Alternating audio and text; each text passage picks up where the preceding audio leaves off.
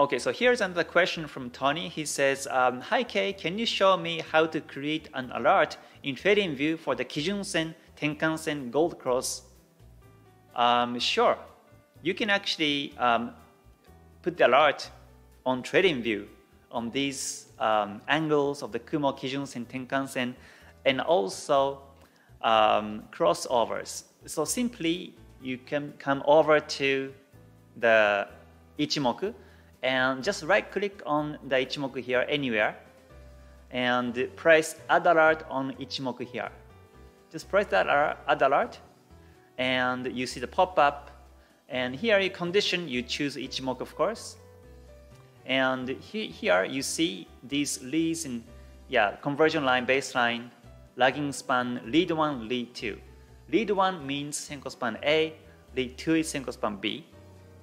So uh, you can you can put the conversion line. Conversion line is Tenkan-sen, baseline is Kijun-sen.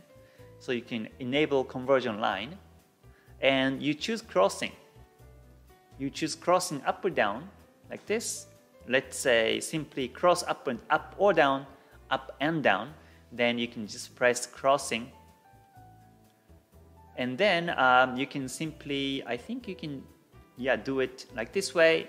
And when it crosses it, I think it alerts you.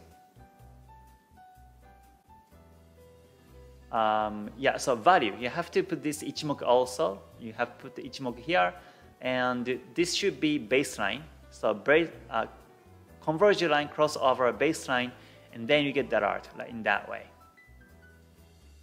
So, and also you can put the alerts on any any um, uh, lines on the Ichimoku on TradingView. So for example, if you choose lead 1, crossing, and lead 2, then this is Kumo crossover. Whenever the Kumo twist, that can alert you too on the trading view. And you can see the alert on the right side of the panel. If you can uh, squeeze my window like this, hold on, like this way. Okay, then you see the alert function here. If you simply press this one, then you get the alert. So this is one of the beauty about TradingView is that you can put that art on any crossovers, any you know indicators and signals.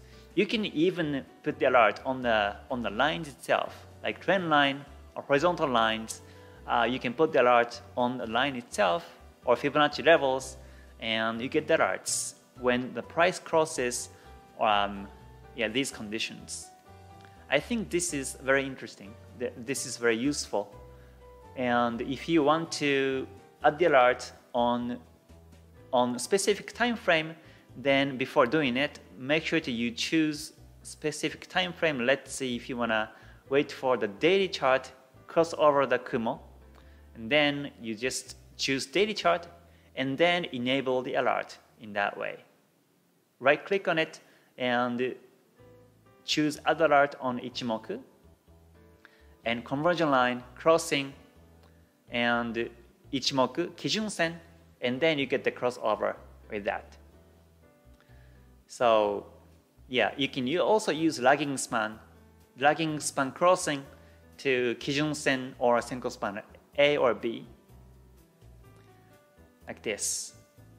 So uh, yeah, this is very handy. Or you can put the value too uh, let's say Chikou span cross over the previous uh, support level. In this case, let's say Chikou span cross over this level, 77.87, which is the previous support level here. Then you can enable the um, Chikou span, sorry, no, yeah, it's a lagging span, Chikou span, crossing value and 77.85 money put here 77.85 4 and press press create. Then you get that alert when the Chikou span passes that line. So personally I don't really use the alerts because um, I simply don't want to be disturbed by the alerts when I do something else. So I don't technically use it but uh, if you want to use, I think TradingView is a great tool. You can't do this on MT. MT4, MT5, you can't do it, but uh, you can you can do it on the TradingView. I think this is one of the greatest functions on TradingView. So uh, yeah, I think that's nice. And also, if you see the price cross over the Kumo Senko Span B, you can set the alert too. So it's very handy and nice. Thank you for watching the video until the end, but before ending, let me briefly share with you one important concept of mine as a pro trader. That is, I am not focusing on one single trade result, but my main focus is a result over time.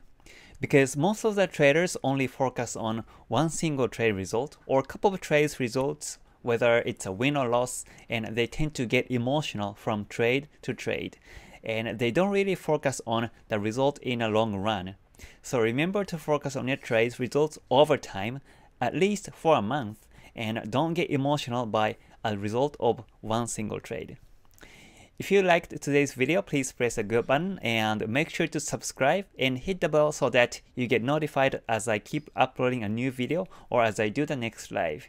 So I wish you a great trade success on your way and I hope to see you on the next live or video. Alright, so until then, stay gold and またね